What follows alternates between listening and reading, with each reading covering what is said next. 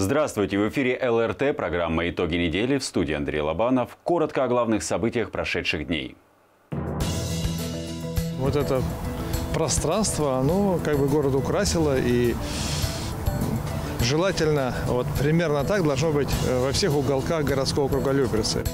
На Звуковой завершился ремонт. Теперь в Люберцах появилось еще одно красивое место. Более детально в репортаже Анны Троян. Раньше было, когда падаешь, можно было колени разбить и так далее, а сейчас нет. Теперь тренироваться не просто полезно, но еще и приятно. О впечатлениях от ремонта спортзала в Малаховской школе в нашем сюжете. В зависимости от способа переработки бумагу можно переработать до 8-9 раз. В Люберцах прошла экологическая акция. Как это было, узнаем в ближайшее время. Тяжелая атлетика – это великолепный вид спорта, который совмещает в себя силу воли, жесткость характера и волю к победе. 55 лет Люберецкой школе тяжелой атлетики спортсмены отметили в дружном компании зрителей и коллег. Подробности через несколько минут.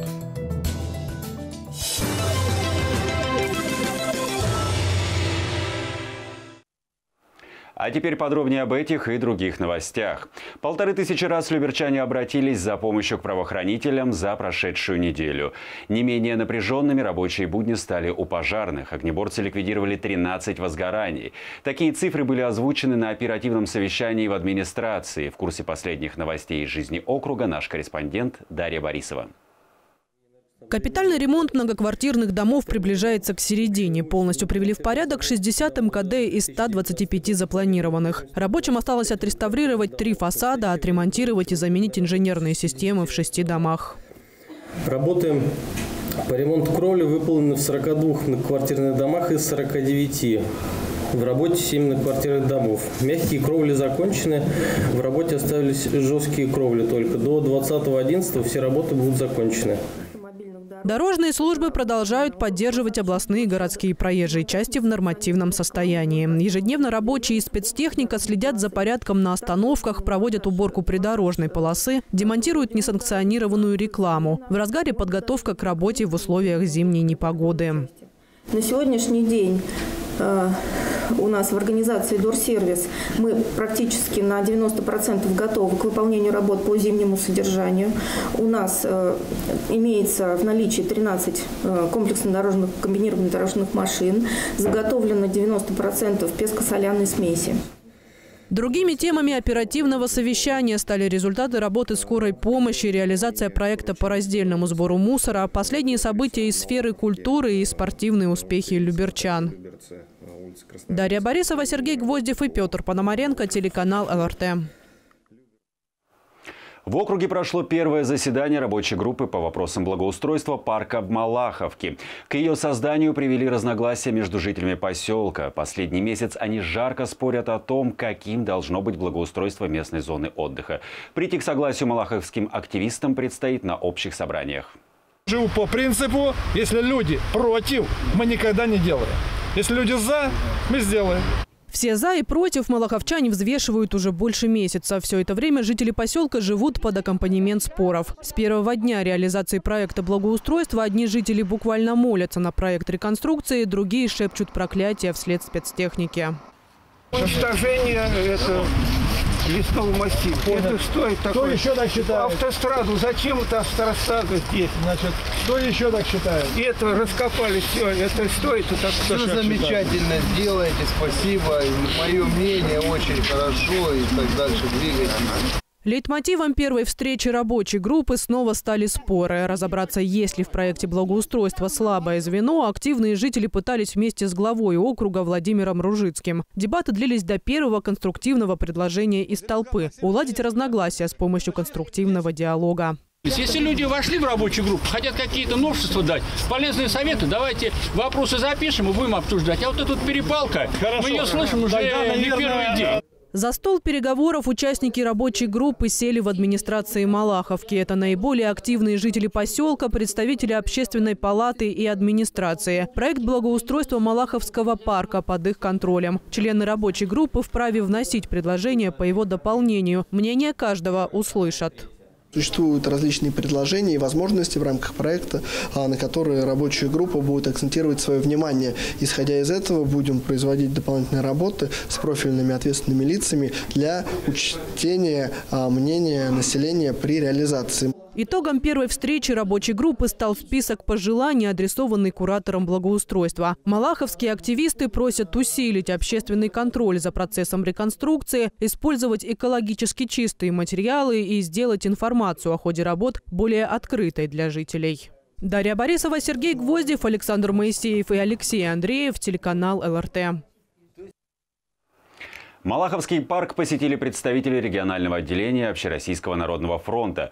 Поводом для визита стали споры, которые все жарче разгораются вокруг проекта благоустройства этой зоны отдыха. Специалисты тематической площадки «Экология» проверили ход работ и дали свои рекомендации по реконструкции. Так комфортно в Малаховском парке молодой маме Екатерине Егоровой еще не было. Прогулки с первым ребенком походили на полосу препятствий из ухабов и кочек грунтовой дороги. Теперь под колесами детской коляски гладь тротуарной плитки. Едет как по маслу. Мне очень нравится, да. То есть как бы с коляской в Москве, в Люберцах это уже везде. Везде, где есть зеленая зона, есть дорожки, есть фонари и есть лавочки с урнами. Это очень здорово. В 21 веке, я надеюсь, что до нас тоже цивилизация дойдет.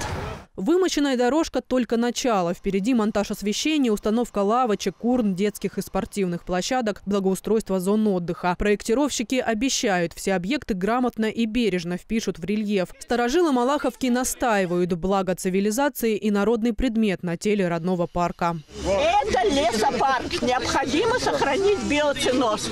Необходимо убрать мусор. Необходимо срубить разваленные деревья и ограничиться минимум минимумом вмешательства в, в живой мир этого региона. Возмущение довело малаховчан, природоохранников до электронного порога Общероссийского народного фронта. Активисты ОНФ не оставили без внимания крик о помощи. Приехали в Малаховку лично проверить, так ли страшно благоустройство, как его малюют. Часовая прогулка по парку показала, грубых нарушений нет, но без погрешностей не обошлось. Спецтехника повредила корни и стволы здоровых деревьев. Нужно обязательно формировать а, скажем так, такую культуру проектирования вот таких вот территорий, которая должна предусматривать такой щадящий подход именно к самой природной зоне. Нужно неформально подходить к учету мнения граждан да, при э, вот, э, благоустройстве, тем более при благоустройстве природных территорий. То есть необходимо учитывать мнение разных групп жителей. Антон Хлынов дал рекомендации по дальнейшему благоустройству Малаковского парка. А рабочей группе предстоит позаботиться о лечении поврежденных деревьев, реабилитации почвы и компенсационных посадках. Еще один совет – сделать взаимодействие с жителями поселка максимально плотным. Все замечания кураторы благоустройства учли и уже проводят работу над ошибками. Дарья Борисова, Алексей Андреев, телеканал ЛРТ. Благоустройство центральной части Люберец подошло к завершению. Финальным этапом стала реконструкция звуковой. Как преобразилась улица и что предшествовало перезагрузке, расскажет наш корреспондент Анна Троян. Открытие пешеходной зоны на Смирновской стало точкой отправления для масштабного преображения центра Люберец в 2015-м. Следующая ступень – реконструкция части Октябрьского проспекта у часовни и ДК. Финал – перезагрузка улицы Звуковая. Люберцы – это про любовь. Теперь концепцию округа символично дополняет сердце, которое расположилось в самом сердце города. И весьма ожидаемо, что на этом самом месте будут назначаться свидания и встречи.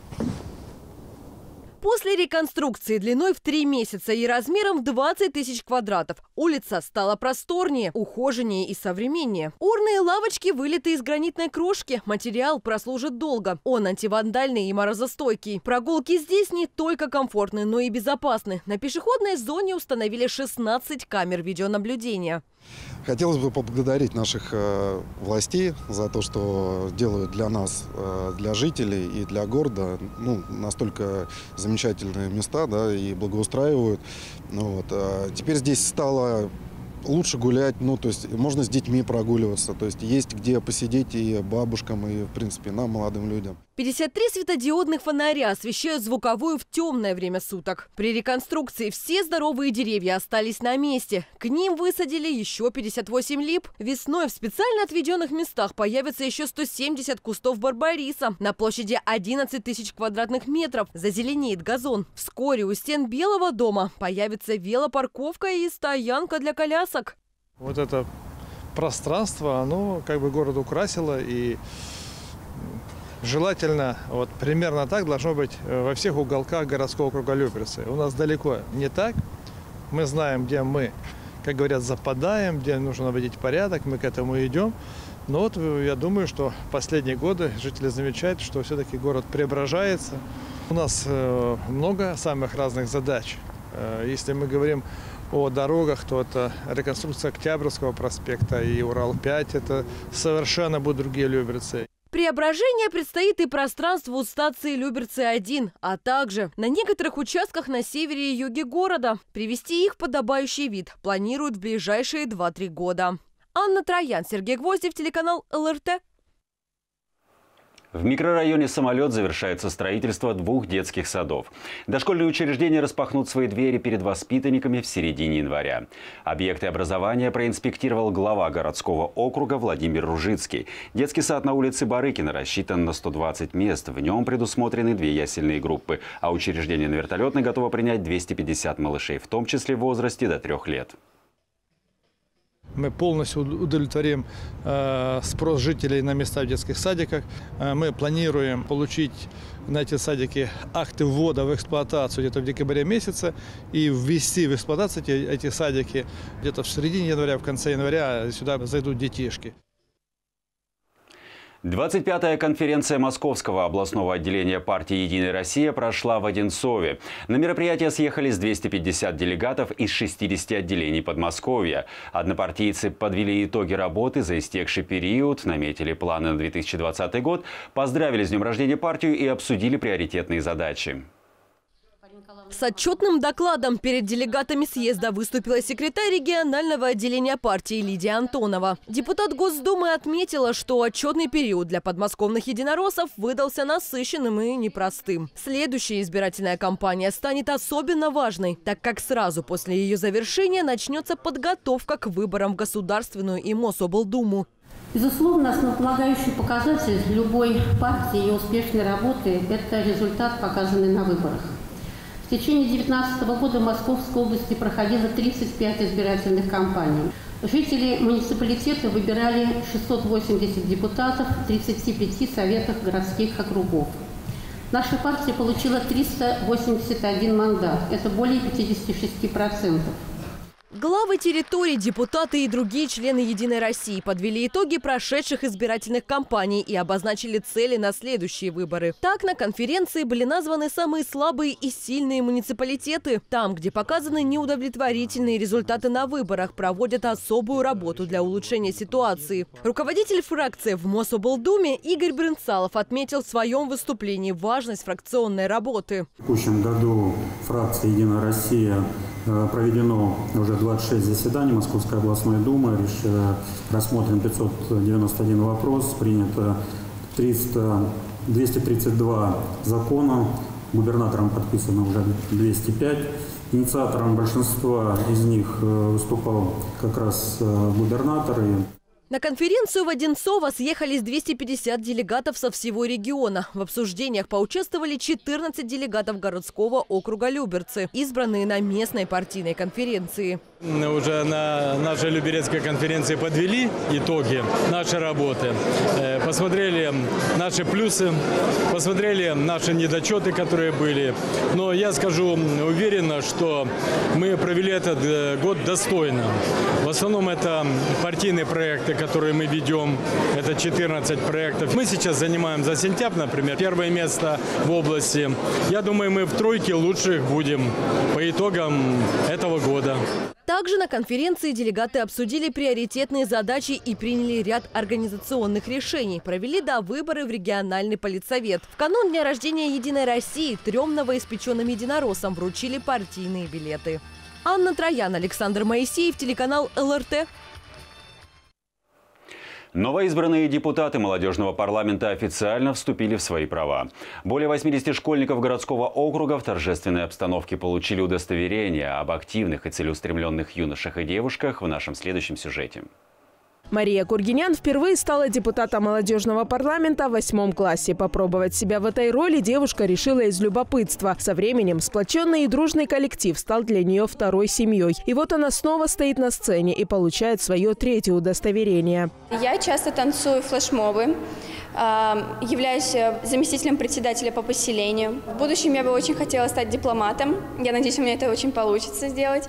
Наряду с Марией удостоверение депутата молодежного парламента получили еще 80 человек. Эти девушки и юноши принимают активное участие в жизни не только своей школы, но и всего городского округа. От имени главы городского округа Люберцы и от себя лично поздравляю вас с избранием. И многие знают о существовании молодежного парламента городского округа на территории, не побоюсь этого слова, всей Российской Федерации. С чем я вас поздравляю. За депутатское кресло в молодежном парламенте боролись более 300 кандидатов. Победителей выбрали путем голосования. 24 октября во всех школах городского округа открылись избирательные участки. Руководила выборами молодежной территориальной избирательной комиссии. В каждой школе были образованы свои молодежные участковые комиссии. Участвовали в выборах около 7 тысяч наших молодых избирателей и школьников. 2019 год стал для Люберецкого молодежного парламента юбилейным. За 10 лет кузница кадров выпустила несколько поколений школьников, которые сейчас занимают высокопоставленные должности. Луиза Игазарян, Сергей Гвоздев, телеканал ЛРТ. Обновленный спортзал получили ученики Малаховской школы номер 47. В отремонтированном помещении дети с комфортом занимаются физкультурой, играют в подвижные игры, готовятся к ГТО и покоряют новые спортивные вершины. Как это стало возможно, расскажет Анна Троян. Внимание! Теперь ходить на уроки физкультуры и готовиться к соревнованиям для юной спортсменки Татьяны Воскресенской – одно удовольствие. В отремонтированном зале стало тепло и уютно, а главное – менее травмоопасно, благодаря новому напольному покрытию. Раньше было, ну, когда падаешь, можно было колени разбить и так далее, а сейчас нет. В зале поменялась атмосфера, и, ну, в общем, стало хорошо в зале. Раньше зал был более мрачный, сейчас он стал яркий, и мне нравится заниматься в нем. Комфортным в спортзале стало за счет отремонтированных стен, обновленной системы отопления и крыши. Раньше здесь было холодно и сыро. Кровля текла в непогоду, с потолка сыпалась штукатурка. Полностью был очищен потолок, заштукатурены по новой стены, окрашены. Э, здесь поменяли крышу над э, помещением спортивного зала, да, полностью. Значит, и плюс, естественно, сделали наливной пол, сухая стяжка. Система отопления, она практически не функционировала, потому что старые батареи, старые трубы полностью были заменены. Дать вторую жизнь спортивному залу стало возможно благодаря муниципальным средствам и помощи депутата Мособлдумы Владимира Жука. Выделенной суммы 3,5 миллиона рублей хватило и на полное переоснащение разрушенного санузла, а также на ремонт медкабинета, который сделают по всем требованиям Санпина к середине декабря. Я выделяю средства многим образовательным и дошкольным учреждениям э, избирательного округа. Округ большой, в том числе и вот 47-ю школу. А выделяются средства именно туда, где они в настоящий момент больше всего и нужны. Эти деньги выделяются из бюджета Московской области целевым образом по каждому депутату для э, реализации наказов э, избирателей. Я считаю, что самый лучший наказ – это ремонт образовательных учреждений. А Малаховской школе перезагрузка действительно нужна. В следующем году учреждение отпразднует свое 55-летие. Обновляют его постепенно. В прошлом году сделали капитальный ремонт раздевалок и тренерской. А в будущем руководство школы надеется на очередную поддержку, чтобы улучшить оснащение кабинетов. Анна Троян, Александр Моисеев, телеканал ЛРТ. Годовщину контрнаступления советских войск в битве под Москвой отметили в гимназии номер 16. Воспитанникам корпусов «Интерес» и «Вектор» предложили сыграть в интеллектуальный морской бой. Под парусами из собственных знаний они штурмовали волны военной истории. Точными ответами гимназисты метко бьют по палубам виртуальных кораблей противника. Воспитанники корпуса «Интерес» топят в океане собственных знаний одно вражеское судно за другим. Но «Вектор» не спешит выкидывать белый флаг. Справляемся нормально. Еще несколько вопросов, и мы точно догоним интерес. Ну, думаем побеждать.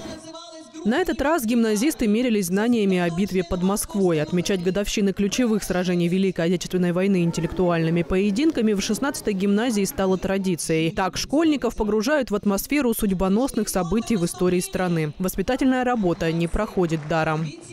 Знаете, вот сегодня э, у меня был такой урок, что мне ну, пришлось показать детям ролики о войне. Вы знаете, это был восьмой класс, девчонки плакали. А раз они плакали, значит, э, наверное, они прочувствовали. Ведь просто так слеза не капнет. Такого не узнаешь из учебников. Подарком для гимназистов стала встреча с членами общественной организации «Дети войны. Память». Ее участники – свидетели событий военного времени. Поделиться историями тех лет приехал Анатолий Потехин. На пороге своего дома он встретил войну семилетним мальчишкой. Фашистов я знаю не понаслышке. Они отлавливали ребят в Германию отправлять. А я у бабушки в погребе сидел. Мы стараемся донести до школьников, для детей, чтобы они знали, что такое война и как она досталась. И почему они так сейчас прекрасно в условиях живут, хорошо и учатся, потому что наши отцы и деды все это создали. Кроме бесценных рассказов, дети войны сделали школьникам еще один подарок. Музею гимназии они передали книгу памяти. Она хранит истории о героях, погибших в битве под Москвой. Дарья Борисова, Александр Моисеев, телеканал ЛРТ. Свой юбилей отметил детский сад «Светлячок». Уже 25 лет педагоги учреждения растят юных люберчан, готовят их к школе и вкладывают в них самые главные азы воспитания. С праздником коллектив учреждения поздравили депутаты, представители управления образования и, конечно, воспитанники. Все повернулись в ее сторону, привлеченные прелестью и ослепительным нарядом незнакомки – 45 лет трудового стажа. Почти полвека она отдала воспитанию детей. Педагог в третьем поколении Татьяна Афанасьева работает в светлячке с самого его открытия. На ее плечах лежит дикция и речь детей. Воспитатель высшей категории ведет логопедические группы. Каждому ребенку нужен индивидуальный подход особенное внимание. Конечно, они реагируют на ласку, на любовь и любят играть. Сначала мы с ними играем, а потом мы занимаемся. Это серьезная работа, исправление речи. Мы работаем по программе детского сада плюс наша логопедическая программа. И, конечно, много времени э, уделяем коррекционной работе. Но результат есть. Достижения есть и у самого детского сада. Четверть века он находится в числе лидеров в Люберцах. Учреждение выпустило не одно поколение. Сегодня в нем 12 групп, в которых подрастают 318 малышей от двух лет. Юбилей педагоги решили отметить тематически. Представили, что 25 лет – это многосерийное кино, где воспитатели – главные герои. 25 это большой труд, плодотворный труд, творческий труд коллектива, сплоченного. У нас очень сплоченный коллектив, который помогает, идет все вместе вперед и вперед. Поэтому 25 лет мы вместе. На празднике особо отметили первого руководителя Светлячка Нину Пономаренко и сегодняшнюю заведующую детским садом. Поздравления, подарки, благодарности от имени главы округа и Совета депутатов получили лучшие педагоги коллектива. Подрастающее поколение тоже не осталось в стороне от юбилея. Воспитанники показали свои лучшие творческие номера. С днем рождения! С днем рождения! Анна Троян, Алексей Андреев, телеканал ЛРТ. Лучших по профессии среди работников ЖКХ выбирали в Королеве. На Московский областной смотр-конкурс съехались 143 сильнейших сотрудника из 24 муниципалитетов. Люберцы представили 8 участников из ЛГЖТ, водоканала и теплосети. Участникам предстояло показать свои теоретические знания и то, как применять их на деле. Стук молотка и шум перфоратора здесь никого не раздражают. Это больше, чем ремонт. На конкурсе «Лучший по профессии» сотрудники сферы ЖКХ показывают свое мастерство на региональном уровне. Слесарям-монтажникам предстояло за 20 минут с нуля разобраться со схемой и установить батарею. Дворникам проверка на выносливость, скоростная уборка улицы.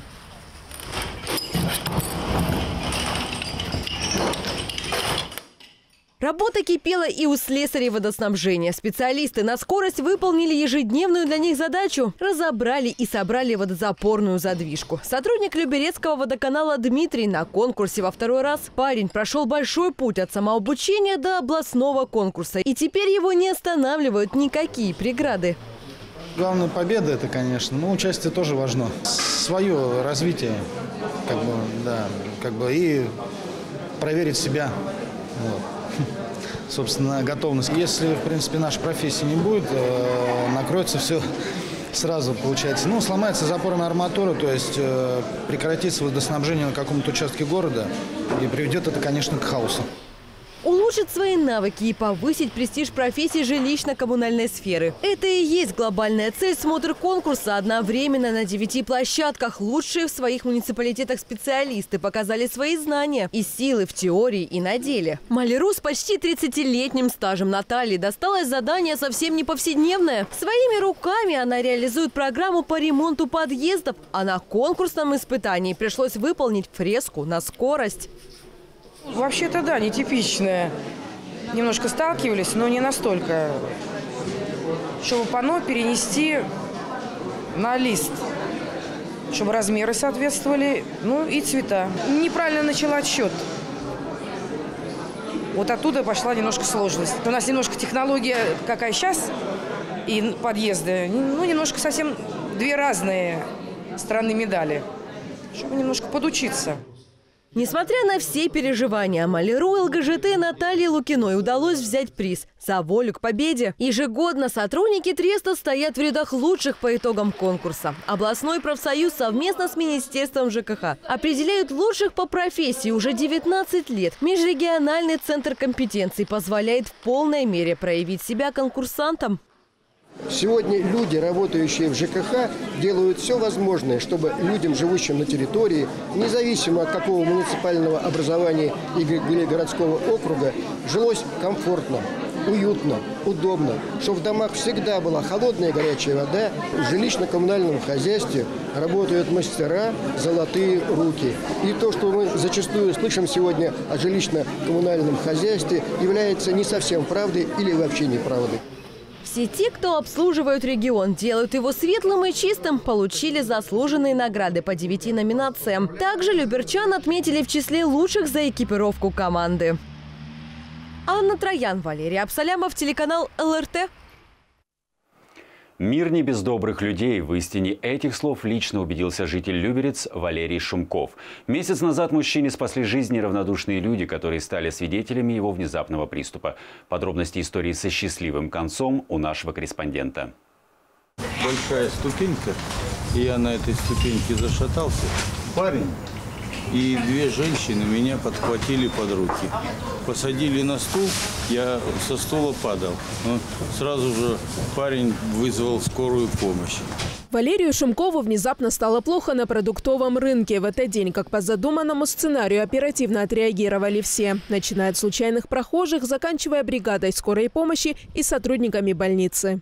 Я хотела бы поблагодарить тех людей неравнодушных, которые помогли моему мужу в этот день. Через 15 минут после вызова скорой помощи он уже лежал под капельницей. Эти минуты просто для нас очень-очень дороги, потому что каждая потерянная минута стоит человеческой жизни. В случае Валерия Шумкова действительно важна каждая минута. У мужчины было прединсультное состояние. Опасность удалось миновать благодаря неравнодушию незнакомых людей и профессионализму врачей. В течение вот этих 12 15 дней мы провели весь комплекс необходимых э, мероприятий и обследовали, и подлечили, выписали в более чем в удовлетворительном состоянии уже под э, амбулаторное наблюдение поликлиники. На днях Валерий Алексеевич отметил 70-летие, и он и его супруга считают главным подарком на юбилей – спасенную жизнь. Луиза Игиазарян, Александр Моисеев, телеканал ЛРТ. Люберчане ставят возрастные рекорды. Статус долгожителя носит Валентина Коновалова. Ей исполнилось 90 лет. С круглой датой юбиляра поздравил глава округа Владимир Ружицкий. Вы дожили до такого хорошего среднего возраста. Да, да, да. да. Здоровья вам, Ой, благополучия. Спасибо. И во всем вам удачи. Самое доброе пожелание. Спасибо. Валентина Коновалова живет в Люберцах уже 83 года. Вместе с семьей она переехала сюда из Курской области в раннем детстве. С округом связаны все самые важные события в жизни. Валентина Ильинична пошла здесь в первый класс, освоила несколько профессий. До пенсии успела поработать бухгалтером, телефонисткой, рабочим шерстопредельной фабрике, краскотером в строительной компании. В Люберцах родилась ее крепкая семья. С супругом они неразлучны уже 65 лет. Теперь в городе, ставшем родным, Валентина Ильинична отмечает 90-летие. Какой мой секрет? Роскоши мы никогда не видели. Ни, ничего не ели такого знаменитого. Чё, какая роскошь? Какой секрет? Не знаю. Может быть, Бог нам дал жизни долгой. Сегодня Валентина Коновалова находится на заслуженном отдыхе, заботится о домашнем хозяйстве и своем супруге. Дарья Борисова, Александр Моисеев, телеканал ЛРТ. Лестничный подъемник для инвалидов-колясочников вручили жительнице Люберец Нине Абрамовой. Теперь с помощью ступенькохода женщине будет комфортно спускаться с третьего этажа. Подробности далее. Узкие лестничные марши – испытания для инвалидов-колясочников. И если в некоторых домах есть шанс создать доступную среду, то в зданиях старой постройки это технически невозможно. Единственный помощник в такой ситуации – ступенькоход. Этот механизм позволяет передвигаться по лестнице в инвалидной коляске. Эта модель, она более облегченная. А, За счет э, аккумуляторов он заряжается. Соответственно, он спускает как вниз, так и вверх. Коляска погружается на ступенькоход. Сопровождающий, соответственно, придерживает ее сзади за ручки. И таким образом, шагающим движением он спускает коляску пошагово по лестничному маршу. Нине Абрамовой такое приспособление необходимо. Женщина проживает на третьем этаже в доме старой постройки. Со своей просьбой она обратилась в администрацию округа. Желанный подарок вручил лично глава Люберец Владимир Ужицкий. Луиза Игазарян, Валерий Абсалямов, телеканал ЛРТ. Сдай макулатуру, спаси дерево. В городском округе Люберцы прошла очередная экологическая акция. Благодаря марафону старые книги, журналы и газеты приобретут новую жизнь.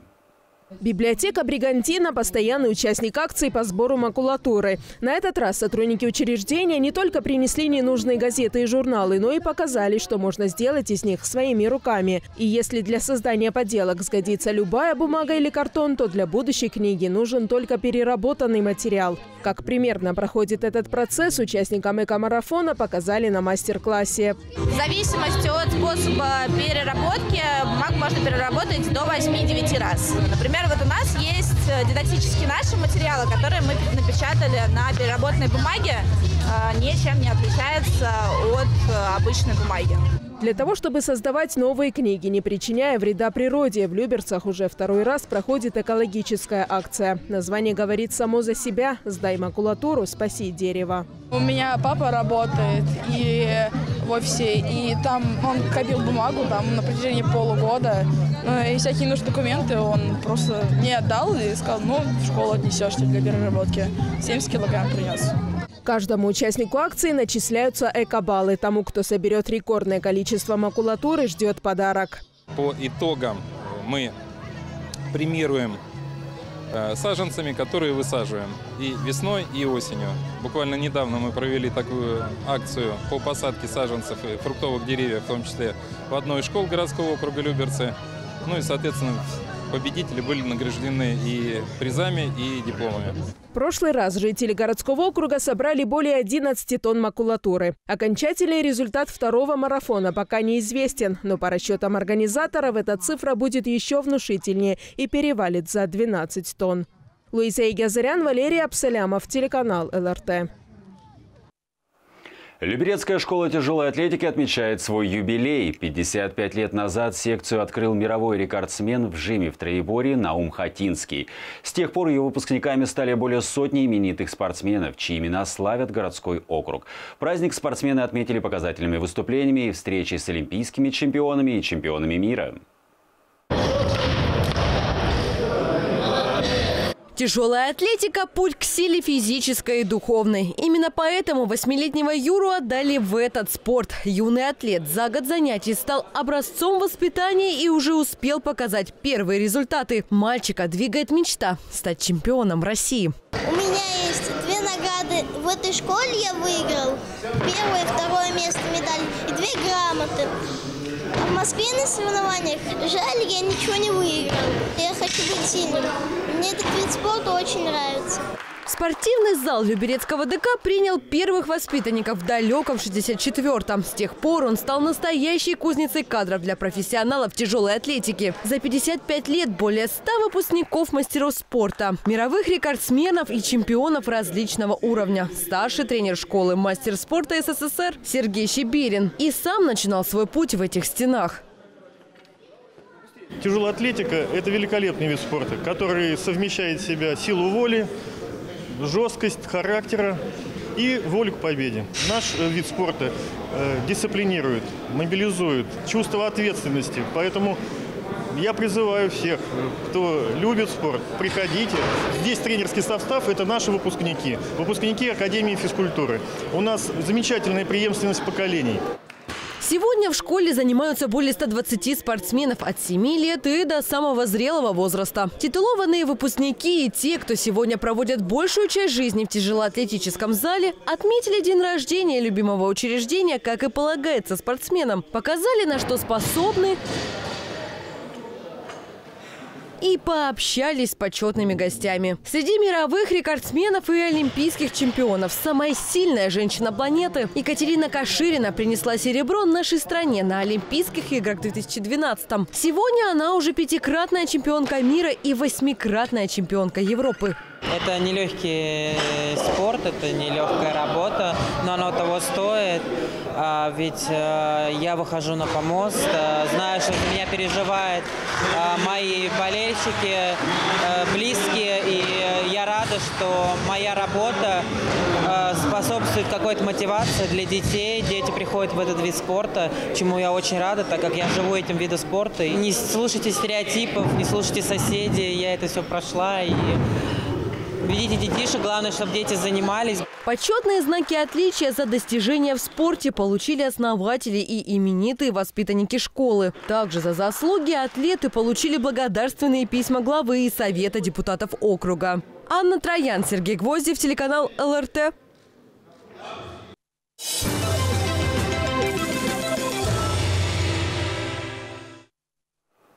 На этом выпуск завершен. Больше подробностей на нашем сайте. До свидания. you